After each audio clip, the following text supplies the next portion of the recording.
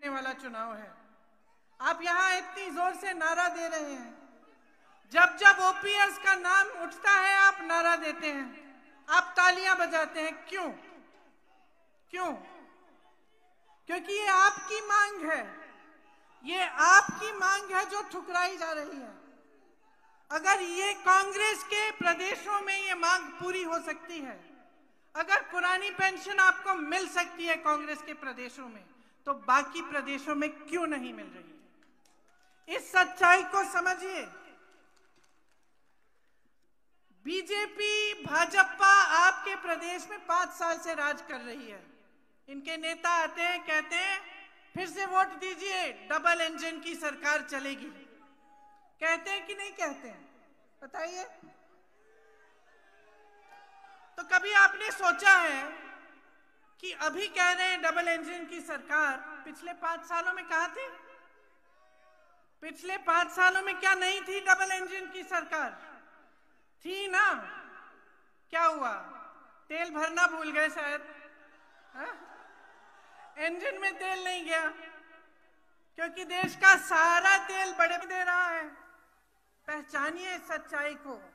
आज ये नौजवान जो यहाँ पे खड़े हैं, यहाँ पे यहाँ पे खड़े हैं, यहाँ पे खड़े हैं, बताइए कितनों को रोज़गार मिला है पिछले पाँच सालों में? मिला है आपको रोज़गार? नहीं मिला ना? तो सरकार का सबसे पहला कर्तव्य क्या होता है जनता के प्रति? सबसे पहला कर्तव्य क्या होता है जनता के प्रति? नौकरी सबसे बड़ा?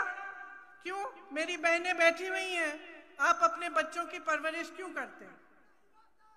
प्रेम से उनकी देखभाल करते हैं, उनको शिक्षित करते हैं। क्यों? ताकि उनका भविष्य बने। बड़े होकर वो आत्मनिर्भर हो, आपका भी देखभाल करें। इसीलिए ना तो सरकार का क्या कर्तव्य बनता है आपके प्रति? कि अपने, आपके जो बच्चे हैं, जिनकी आपने परवरिश की है, जिनको पढ़ाया, लिखाया है, उनको आगे बढ़ाएँ, उनका भविष्य बनाएँ। लेकिन ये भाजपा की सरकार जो पाँच सालों के लिए यहाँ चल रही है, केंद्र में भी है। तमाम साधन है इनके पास, लेकिन इनके राज्य में तिरसठ हज़ार पद खाली हैं। तिरसठ हज़ार रोज़गार नौकरियाँ खाली हैं। यहाँ इसी सभा में हज़ारों युवा मुझे दिख रहे हैं जिनको रोज़गार नहीं मिला। क्यों नहीं दिया आपको? खाली क्यों रखे हैं ये पद? जब कांग्रेस कहती है कि पहली मंत्रिमंडल की मीटिंग में ही हम एक लाख रोज़गार देने के लिए हम निर्णय लेंगे।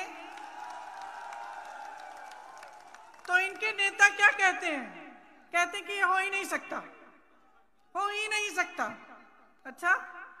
तो फिर छत्तीसगढ़ में कांग्रेस की सरकार ने कैसे कर डाला? आज छत्तीसगढ़ में सबसे कम बेरोजगारी की दर है। कैसे? क्योंकि हमारी सरकार ने पाँच लाख रोज़गार दिए तीन सालों में। राजस्थान में कांग्रेस की सरकार है, एक लाख तीस हज़ार नौकरियाँ दी हैं और यहाँ तिरसठ हज़ार पद खाली पड़े हैं। यहाँ के नौजवान परेशान हो गए हैं, शिक्षित हैं, मेहनती हैं और नौकरियाँ चाह रोज़गार लें, अपने परिवारों की देखभाल करें। पैसे कमाएँ और वो इच्छाएँ पूरी नहीं हो रही हैं। इसलिए भटक रहे हैं और नशा फैलाया जा रहा है, लेकिन रोज़गार नहीं दिया जा रहा है। ये सच्चाई है यहाँ की कि 30 लाख आबादी है यहाँ, युवाओं की लगभग, और 15 लाख बेरोजगार हैं। 15 लाख बेरोजगार हैं, आप हज़ारों पद खाली रख रहे हैं, आप नौकरियाँ नहीं दे रहे हैं। ये है सच्चाई।